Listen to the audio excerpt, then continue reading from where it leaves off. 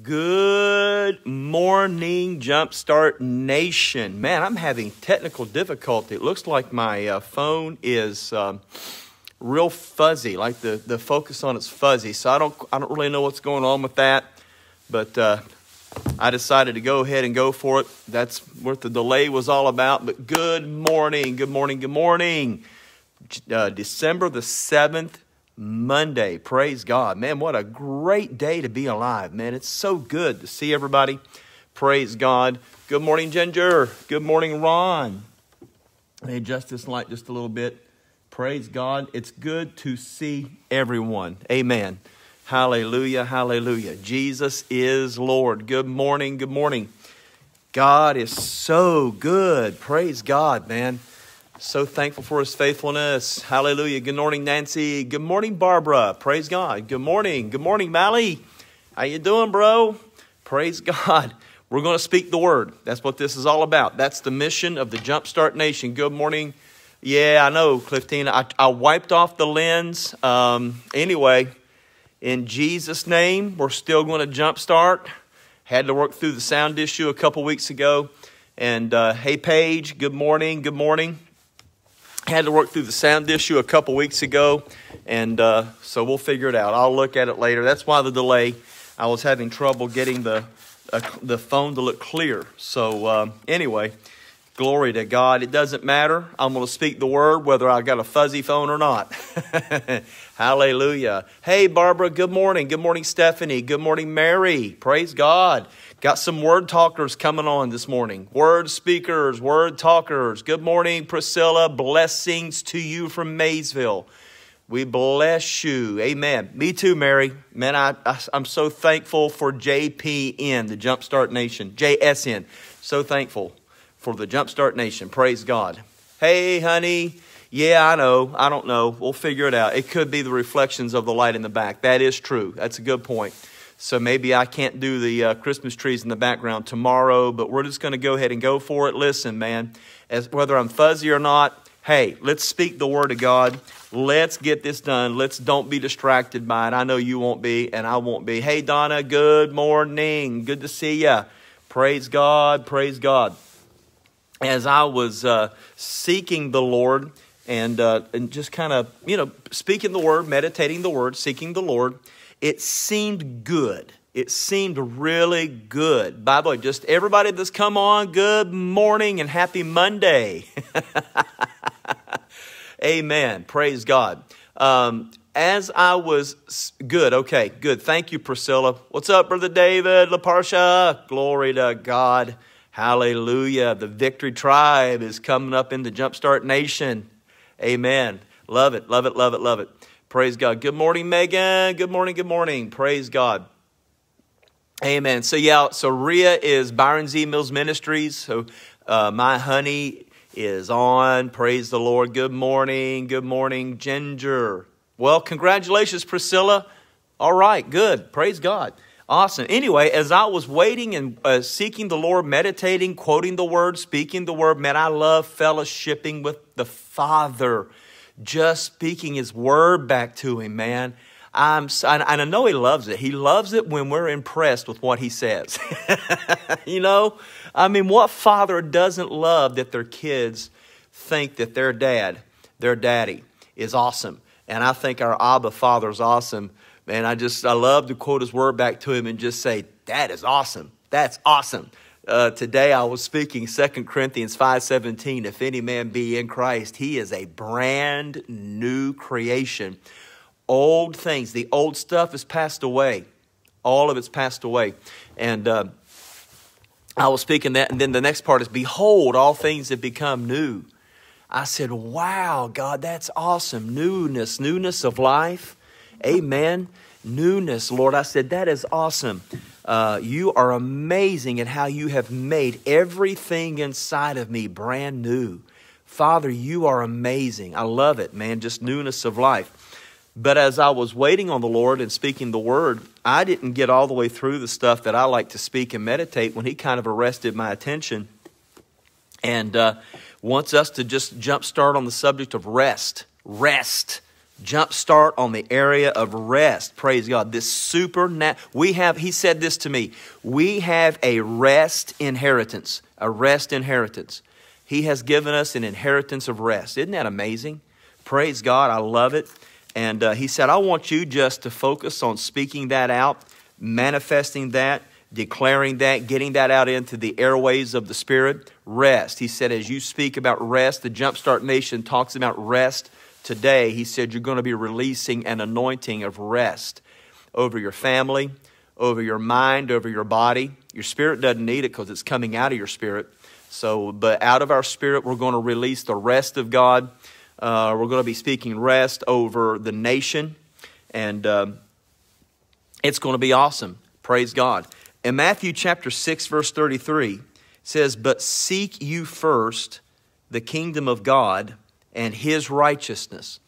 And all these things shall be added unto you. Seek you first the kingdom of God and his righteousness, and all these things shall be added unto you. And what things is he talking about? He's, uh, he says in verse 31 Therefore, take no thought, no anxious thought. Don't take a thought. Man, that's powerful. He said, Take no thought, saying, what shall we eat, or what shall we drink, or with wherewithal shall we be clothed? For after all these things do the Gentiles or the nations seek. For your heavenly Father knows you have need of all these things, but seek you first the kingdom of God. See, we shouldn't be seeking the stuff. People are seeking stuff. They work, they work 40, 50, 60, 70, 80 hours a week seeking, to, seeking money that they can eat, they can drink, seeking clothes, houses, lands, cars, trucks, boats, all that. They are all about seeking for the stuff. But God says, if you will take a different route and if you will seek, if you will seek the kingdom of God first, all these other things will be automatically added to you. Just like Ginger's house was added to her. She's, she's been speaking the word, seeking the word, speaking the word of God, putting the kingdom of God first all these things shall be added to you. But now here's what the Lord showed me today. He said, all of this passage where he was talking here, he was talking about rest. He was talking about rest. He said, Seek you first the kingdom of God and his righteousness, and all these things will be added to you. God is adding things to us. He's adding things to you when you make his kingdom and his righteousness a priority. Now, what is the righteousness of God? One of the translations for the word righteous, dikaiosune, that's the Greek word, dikaiosune, one of the translations, definitions is as it ought to be. That's one of the definitions of righteousness, as it ought to be. So when you are seeking first his righteousness, you are seeking that things be as they ought to be. How should your body be? It ought to be healed uh, righteousness in your body means absence of sickness, absence of disease. Divine health, health in your body, a healthy body is a righteous body. It's as it ought to be. What about your soul, where your mind, your will, your emotions, your feelings, all of that? Your soul, as it ought to be, when it's, when it's experiencing the righteousness of God, when your soul is as it ought to be, it's at rest. It's full of rest, full of peace, full of joy. Praise God. Full of love. Praise God. Your, your soul is at rest. That's as it ought to be. That's righteousness in the soul. Righteousness in your spirit is perfect love, perfect peace, perfect communion with the Holy Spirit. Man, praise God. Hallelujah. Say this out loud I am in perfect communion with the Holy Spirit. I am in perfect communion with the Father. I am in perfect communion with the Son. Hallelujah. Hallelujah. Hey, listen, tomorrow we'll get the fuzzy thing taken care of. Let's just speak the word today. Amen. Praise God. Now, notice what he says here. He said um, in, in this passage about seek first the kingdom of God, the Lord said to me, the Holy Spirit said to me today, he said, This is about rest, supernatural rest, supernatural peace. He said, You can tell when you've made a priority. He said the word seek you first, the kingdom of God. I asked him for 20 years, what does it mean to seek the kingdom of God? What does it mean to seek first the kingdom of God? And he, and he said to me um, today, he said, change the word seek first to prioritize, make it a priority. I said, okay, we'll do that. So um, I said, but make the kingdom of God a priority. Make it a priority. Prioritize the kingdom of God, prioritize his righteousness, and all these other things will be added to you. Make his kingdom a priority. Now, he said, when you make the kingdom of God a priority, he said, you'll begin to walk in a supernatural rest. He said, because there is no stress in my kingdom. He said, there is no stress, no dis-ease, no worry, no fear in my kingdom. He said, you can tell when you've made my kingdom a priority and my righteousness a priority because you will begin to walk in a supernatural rest, a supernatural peace. I said, Lord, how is that? He said, look at the context. Read that verse in context. Most of us word of faith confession people, right? Most of us name it, claim it people, as they call us. Uh, we just sometimes are guilty of just one verse, focusing on one verse and not looking at the context. But notice what he says. The, the whole context begins in verse 25, where Jesus says, I say to you, take no thought for your life. Take no thought for your life. What you shall eat, what you shall drink, or what for your body, what you, you shall put on. He said, Isn't life more than food, and the body more than clothing? He said, Behold the fowls of the air, for they do not sow, neither do they reap, neither gather into barns, yet your heavenly Father feeds them. Are you not much better than, than they? He said, They don't sow, they don't reap, they don't gather in the barns. He said, Here are these birds, and you're much more valuable than a bird. He said, and they're taken care of, and they don't even do sowing and reaping, and they're taken care of. And then he says, Aren't you much better than they? Wow. Now, watch this. He said, Which of you, by taking a thought, taking a thought, we're going to talk about this in a second, can add one cubit to your height. And why take you thought for clothing? Consider the lilies of the field, how they grow. They do not toil, neither do they spin. They don't even they don't work to clothe themselves. They don't spin yarn and spin thread and they don't knit, they don't sew. Yet God has so gloriously clothed these flowers in the field. You know what birds are for? to show you that God will always take care of you and feed you. Do you know what flowers are for? To show you how God wants to clothe you. That's what they are. That's what these. That's what it's for. Now, he said, uh, "Therefore I say to you that even Solomon, in, in all his glory, was not arrayed or clothed like one of these. Wherefore, if God so clothes the grass of the field, which today is and tomorrow is cast into the oven, shall He not much more, much more, much more clothe you, O you of little faith?" Therefore, take no thought, saying, What shall we eat? What shall we drink? How are we going to be clothed? He said, Seek first the kingdom of God, and all these things will be added to you. Now, here's what the, the Amplified says, and then we're going to jump start this. See, when you're walking and making the kingdom of God a priority, you're not taking anxious thoughts. Praise God. Listen, about three or four times, Jesus said in this passage, Take no thought, take no thought, take no thought. Why do you take thought? In other words, it's up to you which thoughts you take. You, here's the revelation you choose, you can choose what thoughts you take. You can reject thoughts.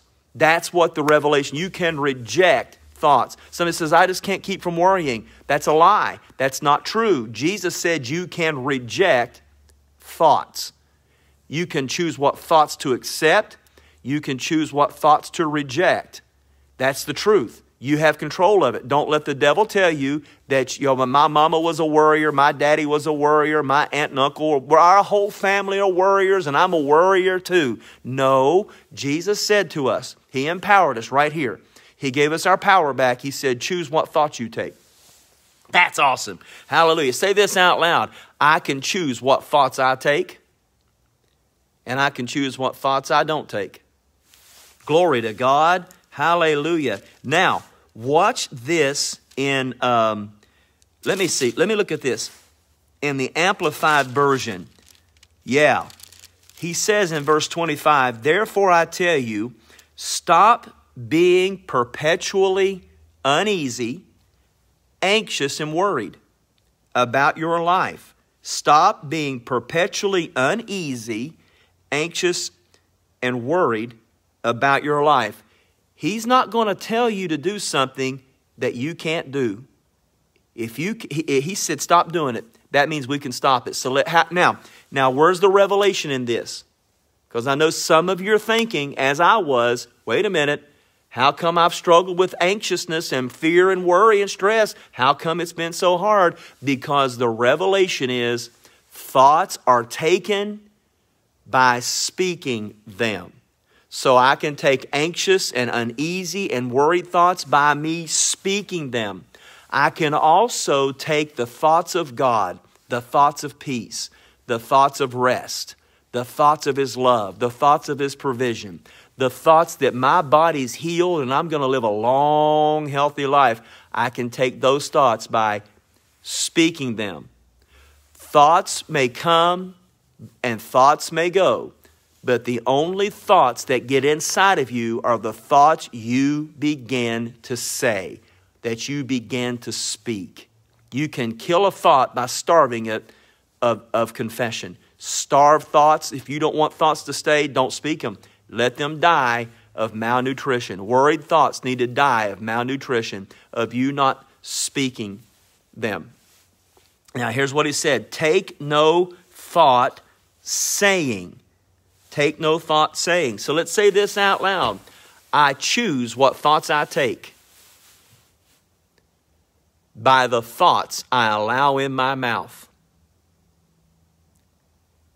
I choose what I speak.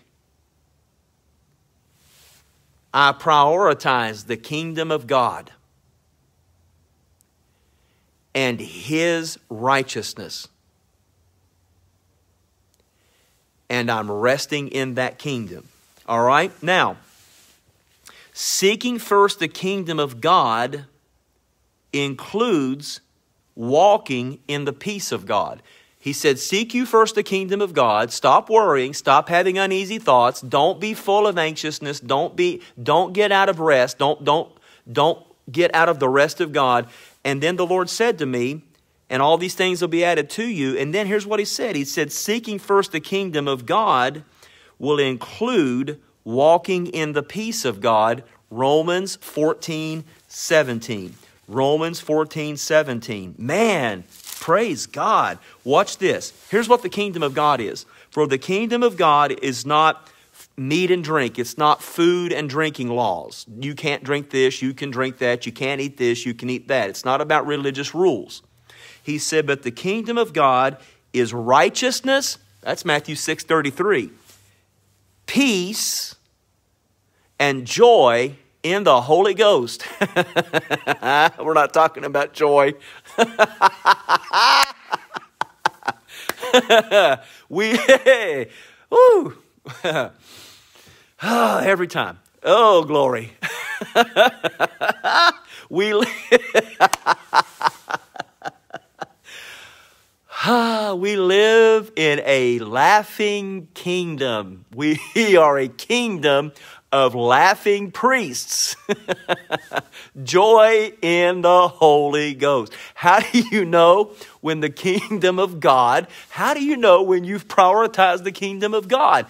Because you're walking in righteousness consciousness. You're conscious that you're righteous. You're not conscious of your sins and your faults and your shortcomings and your errors. Number two, you're walking in supernatural rest, peace. And number three, you're, you're walking in the joy of the Holy Ghost.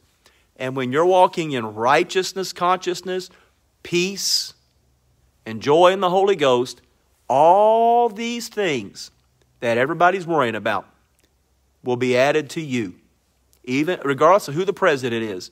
When you're walking in the kingdom of God and prioritizing righteousness, peace, and joy in the Holy Ghost, say this out loud I seek first the kingdom of God.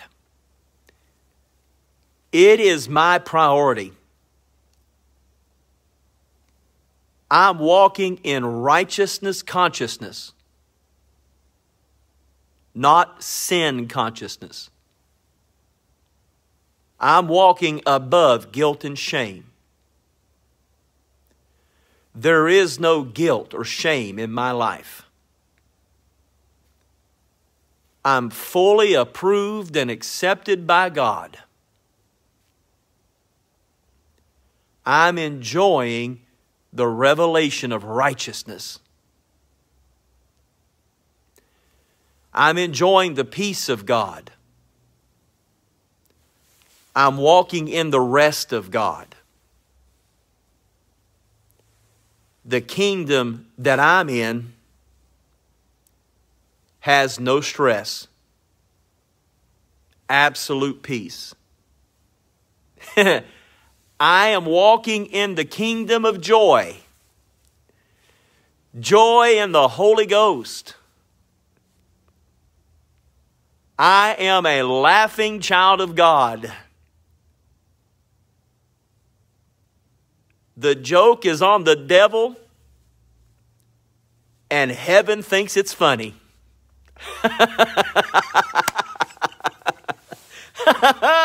Woo! So when you seek first the kingdom of God, that means you're walking in righteousness, the revelation that you're righteous in spite of your shortcomings, that you're approved of God, accepted by God, you're walking in the peace of God, and you're walking in the joy of the Holy Ghost. You have a divine laughter in you, a divine joy. You win, you win, we win. Glory to God. Hallelujah. Say it out loud. I'm walking in the kingdom of righteousness, peace, and joy in the Holy Ghost. And all these things are being added to me. Say this out loud. Proverbs 10:22 declares that the blessing of the Lord brings wealth without painful toil. The blessing of the Lord is bringing me spiritual wealth, rich communion in my spirit with the Holy Spirit. The blessing of the Lord is bringing soulish wealth, wealth in my mind, creative wealth, emotional wealth, joy and peace in my soul, creative ideas every day. The blessing of the Lord has made my soul wealthy. Say this the blessing of the Lord in the kingdom of God has brought me physical wealth. I'm wealthy with physical health. From the top of my head to the soles of my feet. The blessing of the Lord is making me materially wealthy, financially stable, without painful toiling for it. Oh, glory to God. All these things, internally and externally, are being added to me because I'm walking in righteousness, peace, and joy in the Holy Ghost. okay, one more verse. Here we go. Rest, rest, rest. Say it out loud. I'm resting in the kingdom. Say this there's, there's rest in the kingdom. As I rest, I'm being blessed. Yeah, yeah, yeah. God doesn't want your prayer life to be a life of begging and pleading and struggling and sweating, uh, of begging and pleading with God. And He doesn't want you living a life where you have to work 100 hours a week and destroy your body and destroy your family, and you can't go to church and you can't pray and you can't seek the Lord and you can't spend time with your family. No, He wants you to work hard, but He wants you to work out of a place of rest. You can work hard on the outside while you're resting on the inside. Glory be to God. Hallelujah. Because you're not trusting your work, you're trusting the kingdom. Amen. Now, he said, as we continue to walk in peace and rest, all things are added to us. Rest is the posture. I like this. He said to me today, I wrote so fast it's almost in tongues. Rest is the posture of the kingdom of God. Rest is the posture of the kingdom of God. There is no stress in God's kingdom, and there is no stress in you. Hallelujah. Say this out loud. Out loud. I live in a stress free kingdom. Now we're going to jumpstart this last verse, and we'll pick up with this uh, tomorrow. Praise God. I didn't get it all done, but we're going to pick this up tomorrow. Watch this. Watch this. Colossians chapter um, 1, verse 12 and 13. Giving thanks unto the Father, giving thanks unto the Father, to our, our dad, our Abba. giving thanks unto the Father, which has made us qualified to be partakers of the inheritance of the saints in the light. Now, let's just go ahead and jumpstart it, then I'll get to the next verse, which is where I'm headed. Say this out loud I give thanks unto my Father who has qualified me to be a partaker of the inheritance of the saints in the light. The Father approves of me. The Father's delighted in me. I am a partaker. Then he said, Who has delivered us from the power of darkness. And here it is. Here it is. Here's where we're finishing, right here. And God has translated me into the kingdom of his dear Son. We've been translated into the kingdom where we are perfectly righteous the kingdom of supernatural peace and the kingdom of supernatural joy. Oh, glory. We're living in a stress free kingdom. And in that kingdom, there is no lack. There's abundant provision both inside for your insides and for your outside. Praise God. Say this out loud. Oh, glory to God. Say this out loud. Father has delivered me from the power of darkness, and He has translated me into the kingdom of His dear Son. I now live in a stress free kingdom. I live in a kingdom where I am absolutely righteous. I'm absolutely accepted by God. I'm living in the kingdom of peace and joy in the Holy Ghost. Say this, here's our final, here's our final jump start for the day. Say it out loud. I am at rest. And as I rest, I'm fully blessed supernatural rest is in me. and supernatural rest flows through me. I am a carrier of kingdom rest. I am a minister of rest. Glory be to God. Make sure you share this. We had some, hey, we share uh, that last Friday. I mean, it's like 30 some shares. It was like a record, a record amount of shares. God bless you guys. Sorry about the visual, so fuzzy. We'll work that out. I'll figure it out, see what's going on. Love you guys. See you tomorrow at 9 o'clock. You are rest, you're resting, and you're uh, are blessed in Jesus' name. God bless you guys.